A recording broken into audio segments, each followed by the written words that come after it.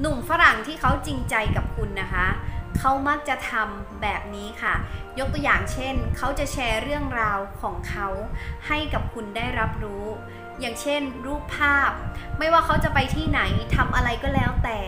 เขามักจะถ่ายรูปแล้วส่งมาให้คุณแบบนี้ซ้ำๆเรื่อยๆ เหมือนทำเป็นกิจวัตรประจำวัน หรือแม้กระทั่งวิดีโอ เขาถ่ายวิดีโอมาแล้วเขาก็จะส่งมาให้คุณค่ะ อันนี้เขาเรียกว่าเขาพยายามที่จะแชร์ไลฟ์สไตล์ของเขาแล้วทำให้คุณได้รู้จักเขามากขึ้น พูดนัยหนึ่งก็คือว่าเขาอะให้ความสนใจและใส่ใจกับคุณนะคะ เพราะไม่ว่าเวลาที่เขาจะไปไหน เขาจะแอบรายงานคุณโดยการส่งภาพหรือวิดีโอมาให้คุณดู โดยที่คุณไม่รู้ตัว อันนี้ก็เป็นจุดเริ่มต้น moment ความรักที่ดี และความ ดูแลใส่ใจแบบสม่ำเสมอ ถ้าคนที่เขาจริงจังกับคุณ เขาจะเริ่มต้นทำแบบนี้นั่นเองค่ะกูชเอมเป็นกำลังใจให้นะคะ